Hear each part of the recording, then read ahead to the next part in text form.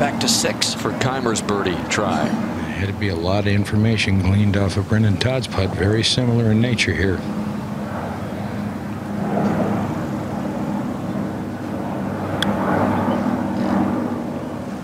He gave this a pop. He gave this a big pop. That's off the green, boys.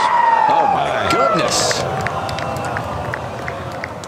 Brendon Todd by accident psyched him out. Just totally psyched him out.